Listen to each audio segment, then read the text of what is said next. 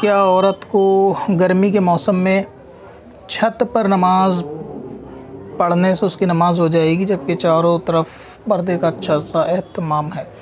अगर छत के ऊपर ऐसा अहतमाम है कि कोई बेपर्दगी का मसला है ही नहीं या फिर छत के ऊपर इस तरीके का कोई रूम बना हुआ है कि जहाँ हवा ज़्यादा सही आएगी गर्मी के मौसम में तो औरत को छत पर नमाज़ पढ़ने में कोई हर्ज वाली बात नहीं। या फिर दीवारें इतनी ऊँची है कि जिसमें कोई मसला नहीं है।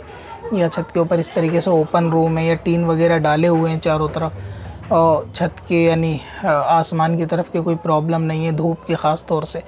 और बाकी हवा का मामला बेहतर है नमाज़ और घर में किसी वजह से प्रॉब्लम है या गर्मी है लाइट गई हुई है, दूसरी वजूहत से अगर पढ़ना चाहे तो उसमें दिक्कत नहीं है। बेवजह कोशिश करे कि ना पढ़े।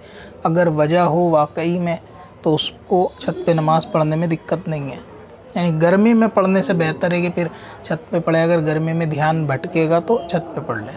अब अपनी खजा उमरी नमाजों का हिसाब लगाना हुआ और भी आसान। विज़िट करें Khaja calculator dot S M S Warsi dot com पर और इस कैलकुलेटर से अपनी तमाम खजा नमाजों का हिसाब मिनटों में करें और डाउनलोड भी करें।